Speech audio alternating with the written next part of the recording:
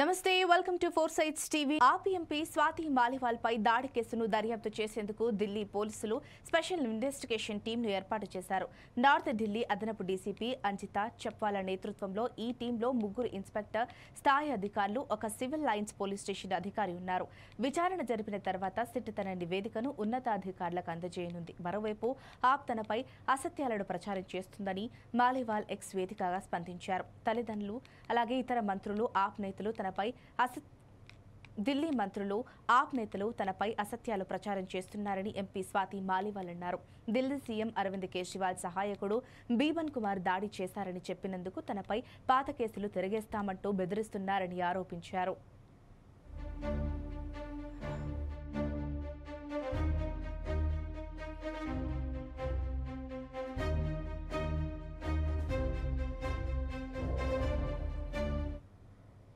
హైదరాబాద్లోని బషీర్బాగ్లో పరిశ్రమల భవన్కు సీఎం రేవంత్ రెడ్డి వెళ్ళనున్నారు. పరిశ్రమలపై సీఎం సమీక్ష సమావేశం నిర్వహించనున్నారు. పరిశ్రమలపై నేతలతో చర్చ అనంతరం సీఎం రేవంత్ రెడ్డి సాయంత్రం తిరుపతికి పయనం కానున్నారు.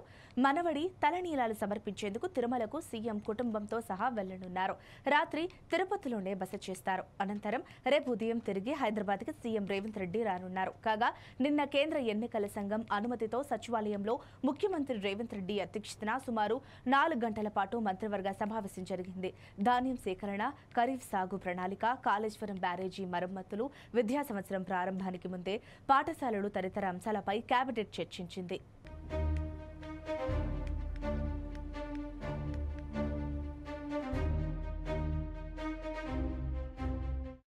నల్గొండ జిల్లా నకరేకల్ మండలం పరిధిలో యాదవుల ఇష్టదైవం చిన్నగుట్ట లింగముల స్వామి మొక్కులకు వేలయ్యింది నెల్లిబండ చిన్నగుట్ట లింగమంతుల స్వామి చౌడమ్మ జాతర ప్రారంభమైంది భక్తుల కోరికలు తెచ్చే కొంగు బంగారంగా ప్రసిద్ధి చెందిన చిన్నగుట్ట లింగమంతుల స్వామి జాతర రెండేళ్ళకొకసారి నిర్వహిస్తారు. గతేడాది ఫిబ్రవరిలో పెద్దగట్టు జాతర ముగియగా ఈ ఏడాది మే పంతొమ్మిదిన ప్రారంభమైన చిన్నగట్టు జాతర ఈ నెల ఇరవై ఒకటిన ముగియనుంది.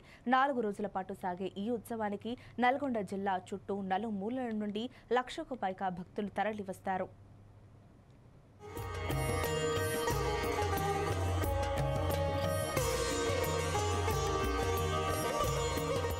సాధారణంగా శివాలయాలు ఉన్న చోట అభిషేకాలు తీపి పదార్థాలతో నైవేద్యాలు పెట్టడం ఆనవాయితీ. కానీ ఆ శివాలయం ఎదుట భారీ ఎత్తున పొట్టేలును ఆహారంగా సమర్పిస్తారు. త్రినేత్రుడి కుమార్తెగా సోదరుడిగా భావించే చౌడమ్మ తల్లికి మాంసాన్ని నైవేద్యంగా అందిస్తారు. ఇలాంటి విభిన్న సంస్కృతికి వేదికగా నిలుస్తోంది చిన్నగట్టు లింగమత్తుల స్వామి చౌడమ్మ జాతర.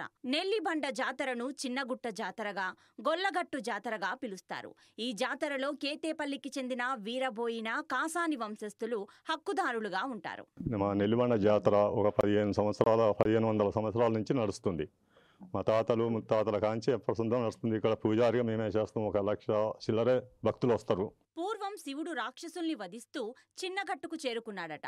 ఎంతమందిని చంపినా రాక్షసులు పుడుతూనే ఉండడంతో అలసిపోయిన శివుడు చెమట చుక్కను చిన్నగట్టు వద్ద వదిలాడని ఆ చెమట చుక్క ద్వారా చౌడమ్మదేవి జన్మించారని చెబుతారు. ఆ సంహార సమయంలో రాక్షసుల నెత్తురు తాగి కొలువయ్యే చౌడమ్మకు మాత్రం రక్తమాంసాలతో ఆకలి తీర్చుతారని మాటిచ్చాడట. ఆ యాటలు ఇచ్చే సంస్కృతి చిన్నగట్టులో అలా వచ్చిందే అని చెప్తుంటారు. ఈ నెల పంతొమ్మిదిన కేటేపల్లి నుండి బయలుదేరే దేవరపెట్టే అర్ధరాత్రి చిన్నగట్టుకు చేరుకుంది. వీరబోయిన కాసాని రెండు వంశాలకు చెందిన రెండు బోనాలను సోమవారం వేకువ జామున స్వామి అమ్మవార్లకు సమర్పించారు. సూర్యాపేట పెద్దగట్టు జాతర తర్వాత రెండో స్థానంలో నిలుస్తుంది చిన్నగుట్ట జాతర. నకరేకల్ నియోజకవర్గంతో పాటు పలు మండలాల ప్రజలు ఈ జాతరకు తరలివస్తారు. ఇంతటి పేరుగాంచిన చిన్నగట్టు జాతరను తెలంగాణ దేవాదాయ శాఖ చిన్నచూపు చూస్తోంది. గుట్టపై విద్యుత్ సరఫరా మంచినీటి సౌకర్యం రోడ్ల నిర్మాణం లేక భక్తులు ఇబ్బందులు పడుతున్నారు. నేతలు మారుతున్నా గుట్టను అభివృద్ధి చేయడం లేదని చెబుతున్నారు. భక్తుల రద్దీని దృష్టిలో ఉంచుకొని గుట్ట అభివృద్ధికి సహకరించాలని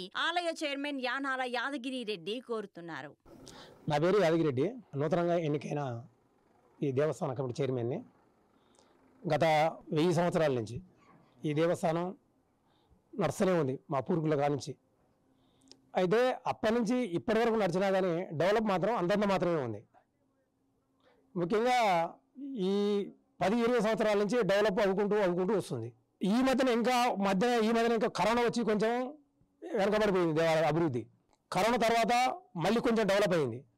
మళ్ళీ ఇప్పుడు ఈసారి నూతనంగా ఎన్నికైనాను కాబట్టి ఇంకా ఈ దేవస్థానాన్ని డెవలప్ చేయాలని భక్తులని అధిక సంఖ్యలో దేవస్థానంపైకి తీసుకురావాలని ఇప్పటికీ లక్ష మంది భక్తులు పైచిలకు వస్తారు. మేడిగడ్డ అన్నారం సుందల్ల బ్యారేజీల మరమ్మతులపై నిపుణుల కమిటీ సూచనల మేరకే తదుపరి కార్యాచరణ చేపట్టాలని కేబినెట్ నిర్ణయించింది. తాత్కాలికంగా నీళ్ళు ఎత్తిపోసి రైతులకు అందించే సాధ్యాసాధ్యాలను పరిశీలించాలని అధికారులను సీఎం ఆదేశించారు. బ్యారేజీల్లో తాత్కాలిక మరమ్మతు పనుల పర్యవేక్షణకు ప్రత్యేక ప్రధాన కార్యదర్శి ముఖ్యమంత్రి నియమించారు. కాళేశ్వరం ప్రాజెక్టుపై భాగంగా నిర్మించిన మేడిగడ్డ అన్నారం సుందిల ప్రాజెక్టులపై మంత్రివర్గంలో సుదీర్ఘంగా చర్చ సాగింది. మేడిగడ్డపై ఎన్డీఎస్ఏ ఇచ్చిన మధ్యంతర నివేదికపై చర్చించింది. అలాగే ఎన్డీఎస్ఏ సూచనల మేరకు మూడు డ్యాంలపై పరీక్షలు పూర్తయ్యాక ఆ నివేదిక మేరకు పనులు చేయాలని నిర్ణయించింది. అప్పటి వరకు రైతులకు ఇబ్బంది కలగకుండా తక్కువ ఖర్చుతో తాత్కాలికంగా నీరు లిఫ్ట్ చేసే అవకాశం ఉంటే పరిశీలించాలని అధికారులను ఆదేశించినట్లు మంత్రి పొంగులేటి శ్రీనివాసరెడ్డి తెలిపారు.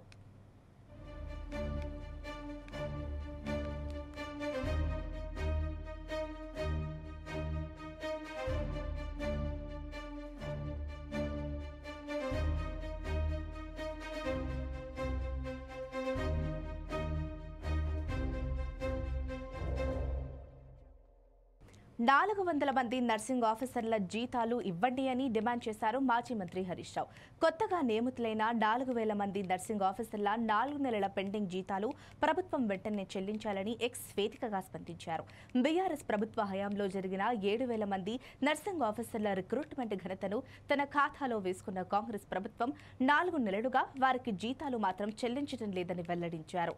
ఎల్బీ స్టేడియం వేదికగా అట్టహాసంగా నియామక పత్రాలు అందించి గాలికి వదిలేసింది తప్ప వారి జీతభత్యాల గురించి అస్సలు పట్టించుకోవడం లేదని ఆగ్రహించారు. దీంతో డైరెక్టరేట్ ఆఫ్ మెడికల్ ఎడ్యుకేషన్ పరిధిలో నియమితులైన నాలుగు వేల మంది నర్సింగ్ ఆఫీసర్లకు జీతాలు అందక అష్టకష్టాలు పడుతున్నారు. ఆర్థిక ఇబ్బందులు ఎదుర్కొంటున్నారన్నారు. ప్రతి నెల ఒకటో తేదీన జీతాలు చెల్లిస్తున్నట్లు లేని గొప్పలు చెప్పుకుంటున్న కాంగ్రెస్ ప్రభుత్వం ఇప్పటికైనా వాస్తవాలు గుర్తించాలని కోరారు. ఇప్పటికైనా ప్రభుత్వం స్పందించి పెండింగ్లో ఉన్న నాలుగు నెలల జీతాలను తక్షణం చెల్లించాలని బీఆర్ఎస్ పార్టీ తరపున డిమాండ్ చేస్తున్నారని పేర్కొన్నారు హరీష్ రావు.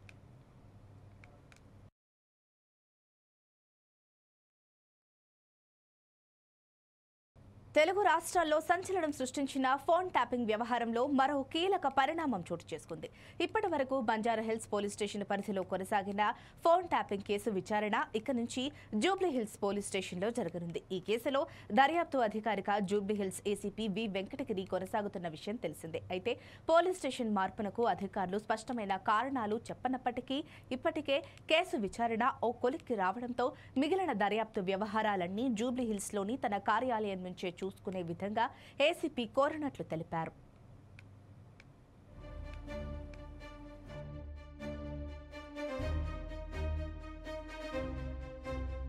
పశ్చిమ గోదావరి జిల్లా ఆసక్తికర ఘటన చోటు చేసుకుంది. అలాగే టెమోజియం అనే వ్యక్తిని తన భార్య లక్ష్మీ గౌతమి వేధిస్తుండటంతో పోలీసులకు ఫిర్యాదు చేశారు.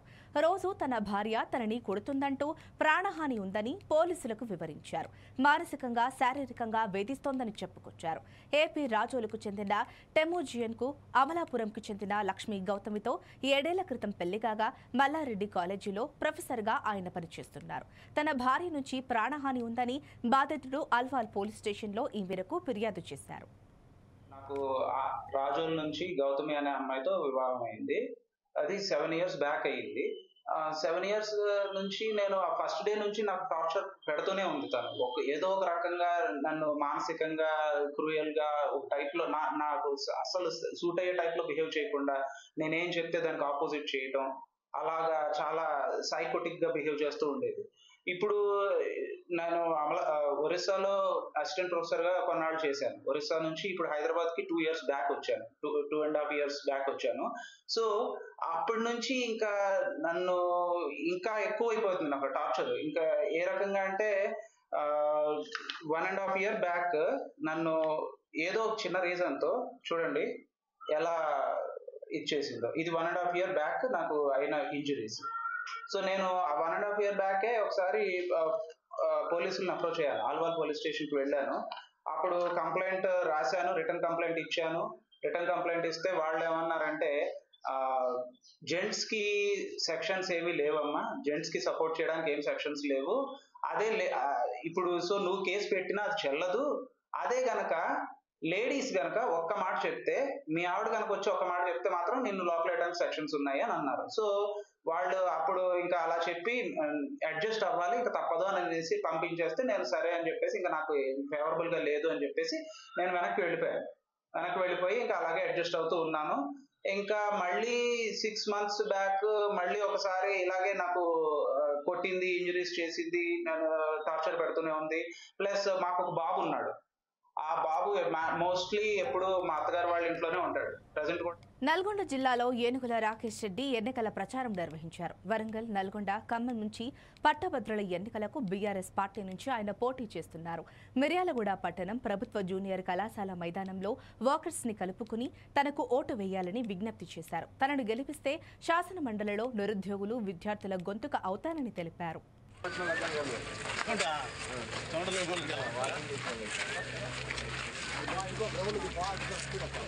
స్పీడా పన్నెండు నడు నడు నడు ఎన్నికల తర్వాత హింసాత్మక ఘటనలపై డీజీపీకి ఇచ్చిన సిట్ నివేదికలో సంచలన విషయాలు వెలుగు చూశాయి. నూట యాభై పేజీల ప్రాథమిక నివేదికను సిట్ చీఫ్ వినీత్ బ్రిజ్లాల్ డీజీపీకి అందజేశారు.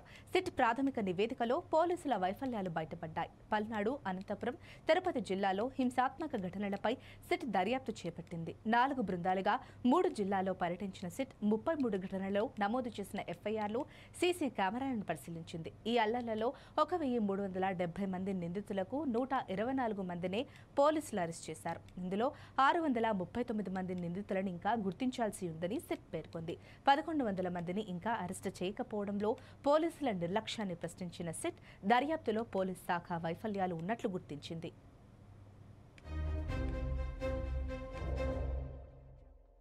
ఎన్నికల అనంతరం జరిగిన హింస నివారణ చర్యలో భాగంగా లంకమ్మ మన్యంలో కార్డన్ కార్డనెన్స్ సెర్చ్ ఆపరేషన్ నిర్వహించారు. రౌడీ షీటర్లు అలాగే సస్పెక్షన్ ఇంట్లోని డాక్యుమెంట్లు సరిగ్గా లేని పదమూడు వాహనాలను స్వాధీనం చేసుకున్నారు. ఈ సెర్చ్ ఆపరేషన్లో అవనిగడ్డ సీఐ గారు Chellapalli CI Avanigadda sub division ఎస్ఐలు సిబ్బంది పాల్గొన్నారు. ఎవరు పెడతారంటే మ్యాక్సిమం దొంగ బళ్ళు కొట్టేసిన బళ్ళు కొట్టేసిన సెల్ ఫోన్ తీసుకొచ్చి తాకట్లో పెట్టి క్లెయిమ్ చేసిన తర్వాత ఇబ్బందులు పడి కేసులు పాలయ్యి జైలు పాలు చుట్టూ తిరుగుతున్నారు. కాబట్టి దొంగ బళ్ళు అంటే రికార్డు లేని ప్రాపర్ రికార్డులు లేని బళ్ళు కొనడం కానీ బిల్స్ లేకుండా మొబైల్ ఫోన్స్ కొనడం కానీ అవన్నీ చేస్తే మాత్రం ఇబ్బందులు పడతారు. ఇప్పుడు ఇవన్నీ కూడా ఎన్ని ఉన్నాయని తేలుతాయి ఇవన్నీ కూడా. దాని మీద మేమంతా కూడా కేసులు ప్రాపర్గా కేసులన్నీ కూడా నమోదు చేయడం జరుగుతుంది. దక్షిణాది రాష్ట్రాల్లో విస్తారంగా వర్షాలు కురుస్తాయని మరోవైపు ఉత్తర తూర్పు రాష్ట్రాల్లో వేడిగాలుల ప్రభావం కొనసాగుతోందని భారత వాతావరణ శాఖ వెల్లడించింది. ఈ నేపథ్యంలో వచ్చే ఐదు రోజులు కోస్తా ఆంధ్ర యానం తెలంగాణ రాయలసీమ మీదుగా ఈదురు గాలులతో కూడిన వర్షాలు వస్తాయని వాతావరణ శాఖ అంచనా వేసింది. దీంతో పాటు తమిళనాడు పుదుచ్చేరి కేరళ లక్షద్వీప్ కర్ణాటకలో ఉరుములు మెరుపులతో కూడిన మోస్తరు వర్షపాతం నమోదవుతోందని వెదర్ రిపోర్ట్ తెలిపింది.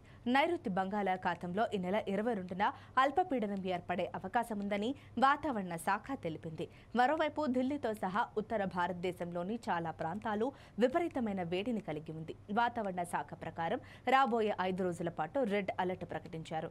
మంగళవారం ఢిల్లీలో గరిష్ట ఉష్ణోగ్రత నలభై ఐదు డిగ్రీల సెల్సియస్గా కనిష్ట ఉష్ణోగ్రత ఇరవై తొమ్మిది డిగ్రీల సెల్సియస్గా నమోదైంది. మరోవైపు మే ఇరవై నాలుగున ఉష్ణోగ్రత నలభై ఆరు డిగ్రీల సెల్సియస్కు చేరుకునే అవకాశం ఉందని హెచ్చరించారు.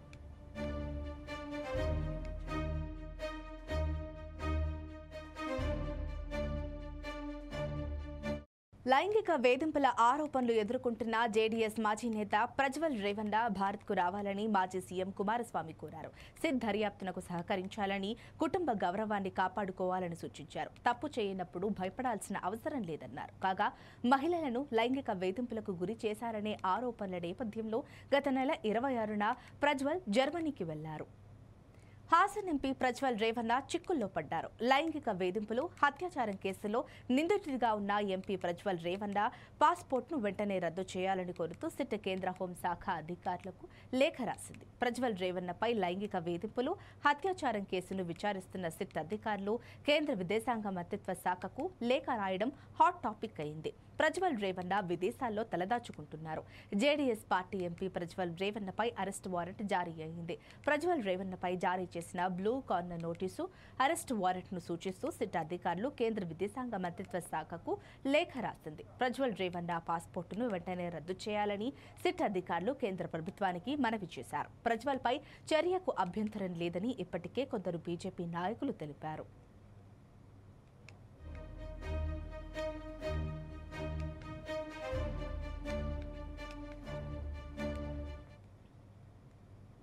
భారత్ మాల్దీవుల మధ్య జరుగుతున్న ఘర్షణ వాతావరణంలో మూడో దేశం లాభపడుతోంది. భారత పర్యాటకులు మాల్దీవులను బహిష్కరించడంతో పొరుగున ఉన్న శ్రీలంక లబ్ధి పొందుతోంది. భారతీయ పర్యాటకులు ఇప్పుడు శ్రీలంకకు పెద్ద సంఖ్యలో వెళ్తున్నారు. అక్కడ చాలా డబ్బు ఖర్చు చేస్తున్నారు. శ్రీలంకకు వెళ్ళే భారతీయ పర్యాటకుల సంఖ్య రెండు వేల ఇరవై రెండుతో పోలిస్తే రెండు వేల ఇరవై మూడులో దాదాపు రెట్టింపయ్యింది.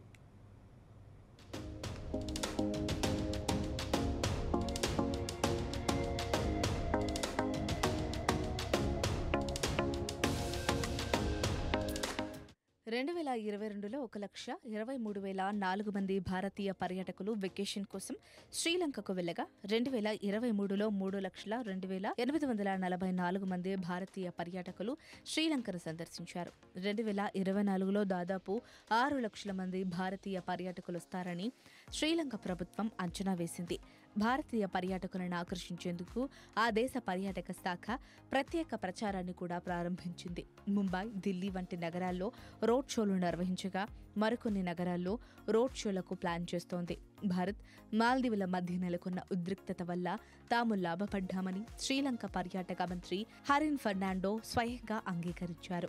భారతీయ పర్యాటకులు మాల్దీవులను బహిష్కరించారని దీనివల్ల తాము ప్రయోజనం పొందామన్నారు. రెండు వేల ముప్పై నాటికి పర్యాటక రంగంలో అత్యధికంగా ఖర్చు చేసే దేశాల్లో భారత్ నాలుగో స్థానంలో నిలుస్తుందని ఆయన చెప్పారు. శ్రీలంక పర్యాటక శాఖ ప్రకారం రెండు వేల ఇరవై మూడులో మొత్తం పద్నాలుగు లక్షల ఎనభై ఏడు వేల మూడు వందల మూడు మంది పర్యాటకులు శ్రీలంకకు వెకేషన్ కోసం వెళ్ళగా అందులో మూడు లక్షల రెండు వేల ఎనిమిది వందల నలభై నాలుగు మంది భారతీయ పర్యాటకులున్నారు. జులై రెండు వేల ఇరవై మూడు నుండి భారతీయ పర్యాటకుల సంఖ్య పెరుగుతూనే ఉంది. ఇక మాల్దీవుల ఓవర్ యాక్షన్ కారణంగా అక్కడికి విహారయాత్రకు వెళ్ళే భారతీయ పర్యాటకుల సంఖ్య ఇప్పుడు సగానికి పైగా తగ్గింది. ఈ ఏడాది జనవరి నుంచి ఏప్రిల్ వరకు నలభై రెండు వేల ఆరు వందల ముప్పై ఎనిమిది మంది భారతీయ పర్యాటకులు మాల్దీవులకు వెకేషన్ కోసం వెళ్ళగా గతేడాది ఇదే నాలుగు నెలల్లో డెబ్బై మూడు వేల ఏడు వందల ఎనభై ఐదు మంది భారతీయ పర్యాటకులు అక్కడికి చేరుకున్నారు.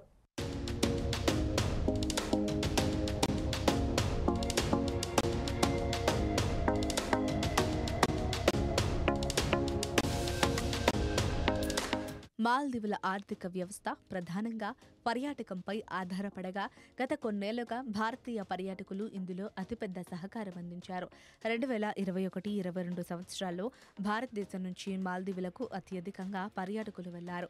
అక్కడికి వెళ్ళే మొత్తం పర్యాటకులలో భారతదేశం సహకారం ఇరవై మూడు శాతంగా ఉంది. రెండు వేల ఇరవై ఒకటి సంవత్సరంలో రెండు పాయింట్ తొమ్మిది లక్షల మంది పర్యాటకులు అక్కడికి వెళ్ళగా రెండు వేల ఇరవై రెండులో రెండు పాయింట్ నాలుగు లక్షల మంది పర్యాటకులు అక్కడికి వెళ్ళారు రెండు వేల ఇరవై మూడు గణాంకాలను పరిశీలిస్తే గత గతేడాది కూడా రెండు పాయింట్ తొమ్మిది లక్షల మంది భారతీయ పర్యాటకులు సెలవుల కోసం మాల్దీవులకెళ్ళారు కానీ భారతదేశంతో మాల్దీవుల సంబంధాలు క్షీణించినప్పటి నుండి అక్కడికి వెళ్ళడం పూర్తిగా మనోళ్ళు తగ్గించారు. కొన్ని నెలల క్రితం చైనా మద్దతుతో మహమ్మద్ మైజు మాల్దీవుల అధ్యక్షుడైనప్పుడు అతను భారతదేశంపై నెగటివ్ ప్రకటనలు చేయడం ప్రారంభించాడు.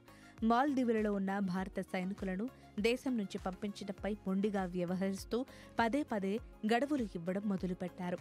ఈ క్రమంలో ఈ ఏడాది ప్రారంభంలో మన ప్రధాని నరేంద్ర మోడీ కేంద్రపాలిత ప్రాంతమైన లక్షద్వీప్కు వెళ్ళి అక్కడి బీచ్లు ప్రకృతి దృశ్యాలను తిలకించారు. దీనికి సంబంధించిన ఫోటోలను కూడా సోషల్ మీడియాలో షేర్ చేశారు మోడీ.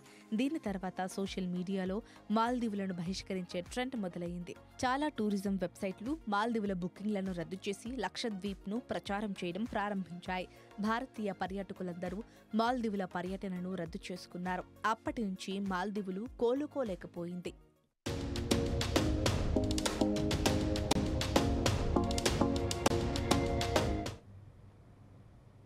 ఒడిశా నుంచి అమిత్ షా మాట్లాడుతున్నారు. ఇప్పుడు ఆ లైవ్ చూద్దాం. ముఖ్యమంత్రి ఒడియా బోల్నే వాలా ముఖ్యమంత్రి యహా పర్ శాసన్ కరేగా. భాయో బహనో नवीन बाबू ने 25 साल में ओडिशा को पीछे छोड़ दिया। ओडिशा के 25 लाख लोगों के पास आज भी घर नहीं है। ओडिशा के 26 लाख लोगों के घर में आज भी पीने का पानी नहीं है। हमारे प्रदेश अध्यक्ष और धर्मेंद्र भाई ने तय किया है, आप भाजपा सरकार बना दो। दो साल में हर व्यक्ति को घर और पीने का पानी देने का काम भारतीय जनता पार्टी करेगी। भाइयों बहनों, मुझे बताओ, आपको धान का दाम मिलता है क्या ध्यान से? मिलता है? ये पास में हमारा छत्तीसगढ़ है, भाजपा सरकार है, वहाँ पर इकतीस सौ रुपया क्विंटल धान का दाम मिलता है, मगर नवीन बाबू नहीं देते हैं। मैं आपको बताकर जाता हूँ, सातों विधानसभा के प्रत्याशी और अनंत नायक को जिता दो, आदिवासी भाइयों का सबका धान का एक एक किलो दाना इकतीस सौ रुपया क्विंटल से खरीदने का काम भारतीय जनता पार्टी करेगी। और 48 घंटे में बैंक अकाउंट में इसका पैसा आएगा। और आदिवासी माताएँ बहनें जितनी आई है, कमल के फूल पर वोट देना, आपको पचास हज़ार रुपया का वाउचर, घर में पंखा, इस्त्री, कूलर पलंग, कुर्सी, जो भी लाना है, हम पचास हज़ार रुपया देने का काम हमारी आदिवासी माताओं को करेंगे। हम पच्चीस लाख लखपति दीदी बनाएँगे। हम तेंदु पत्ता का भाव दो रुपया प्रति कोरी से बढ़ाएँगे और 35 प्रतिशत बोनस देने का काम ये भारतीय जनता पार्टी की सरकार करेगी। भाइयों बहनों, सबसे बड़ी बात मेरे आदिवासी युवाओं के लिए मैं कहना चाहता हूँ, ये नवीन बाबू की आयु हो गई है, ज़्यादा काम होता नहीं है, इसलिए भर्ती भी नहीं करते हैं। मैं आपको बताऊँगा, हमारा युवा मुख्यमंत्री आकर दो ही साल में डेढ़ लाख युवाओं की भर्ती सरकार में नौकरी देने का काम हम करेंगे। ఇరాన్ అధ్యక్షుడు ఇబ్రహీం రైసీ మృతిపై అమెరికా సంతాపం వ్యక్తం చేసింది. రైసీ చేతులు రక్తంతో తడిశాయని అగ్రరాజ్యం వ్యాఖ్యానించడం ఇప్పుడు చర్చనీయాంశమయ్యింది. అనేక అణచివేతల్లో ఆయన హస్తం ఉందన్న పరోక్షంగా అనేక హింసాత్మక ఘటనల్లో ఆయన పాత్ర ఉన్నట్లు పేర్కొంది. ఇబ్రహీం రైసీ వ్యక్తి చేతులు రక్తంతో తడిశాయని ఇరాన్లో హక్కుల అణచివేతలో ఆయన పాత్ర ఉందన్నారు. హమాస్ సహా అనేక తీవ్రవాద సంస్థలకు మద్దతుగా నిలిచారని పేర్కొన్నారు. సాధారణంగా ఎవరు మరణించినా మేం విచారం వ్యక్తం చేస్తాం. అలాగే ఆయన మృతి పట్ల కూడా సంతాపం తెలియజేస్తున్నామని అమెరికా జాతీయ భద్రతా మండలి అధికార ప్రతినిధి జాన్ కిర్బీ అన్నారు.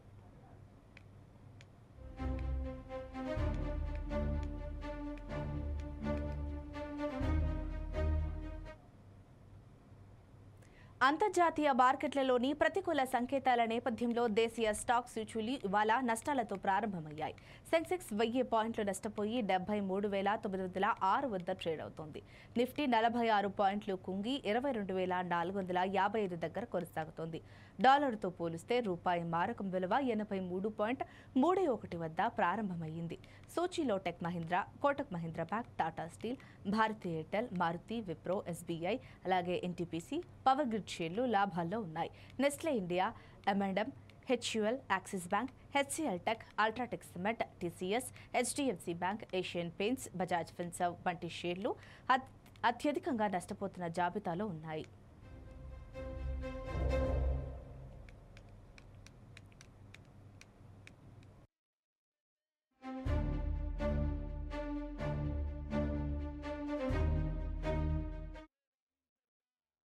ఇండియన్ ప్రీమియర్ లీగ్ రెండు వేల ఇరవై నాలుగు అభిమానులను బాగా అలరిస్తోంది. లీగ్లో ప్రతిరోజు అద్భుతమైన మ్యాచ్లు జరుగుతున్నాయి. ముఖ్యంగా ఈ సీజన్లో బ్యాట్స్మెన్స్ ఆధిపత్యం చెలాయిస్తూ సిక్సర్ల వర్షం కురిపిస్తున్నారు. సన్ రైజర్స్ హైదరాబాద్ యువ బ్యాట్స్మెన్ అభిషేక్ శర్మ బ్యాట్ నుంచి ఇప్పటి వరకు ఎన్నో అద్భుతమైన ఇన్నింగ్స్ వచ్చాయి. భారీ షాట్లతో ప్రేక్షకులను అరలిస్తున్నాడు ఐపీఎల్ చరిత్రలో ఒక సీజన్లో అత్యధిక సిక్సర్లు కొట్టిన భారతీయ బ్యాట్స్మెన్గా నిలిచాడు.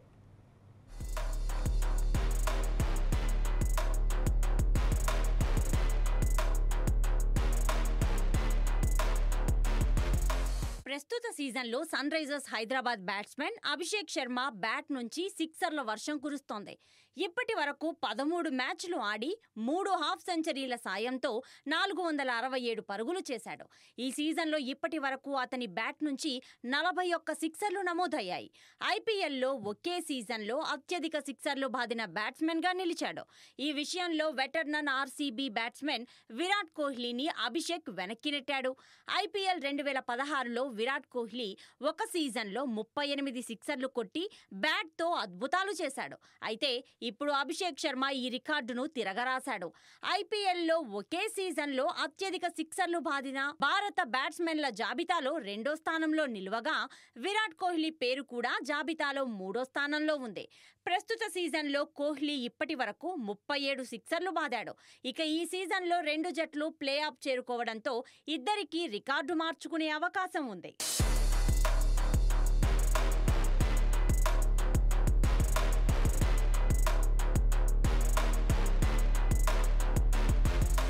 ఒక సీజన్లో అత్యధిక సిక్సర్లు బాదిన భారత బ్యాట్మెన్ల జాబితాలో రిషబ్ పంత్ పేరు కూడా ఉంది. రెండు వేల పద్దెనిమిది ఐపీఎల్లో పంత్ అద్భుతంగా ఆడి ముప్పై ఏడు సిక్సర్లు బాదాడు. అదే సమయంలో దీని తర్వాత శివన్ దూబే పేరు తెరపైకి వస్తుంది. అతను ఐపీఎల్ రెండు వేల ఇరవై మూడులో ముప్పై ఐదు సిక్సర్లు కొట్టి బ్యాట్తో అద్భుత ప్రదర్శన చేశాడు. ఐపీఎల్ సీజన్లో అత్యధిక సిక్సర్లు బాదిన బ్యాట్స్మెన్గా క్రిస్ గేల్ అగ్రస్థానంలో ఉన్నాడు. ఆర్సీబీ తరపున ఆడుతున్నప్పుడు అతను ఐపీఎల్ రెండు వేల పన్నెండులో యాభై తొమ్మిది సిక్సర్లు కొట్టాడు. ఇప్పటి వరకు ఏ బ్యాట్స్మెన్ కూడా గేల్ రికార్డును బద్దలు కొట్టలేకపోయాడు.